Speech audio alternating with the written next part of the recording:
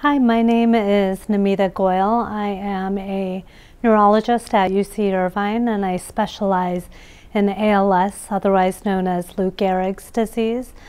I am here to talk to you today about the different therapies that we are doing right here at UC Irvine for ALS.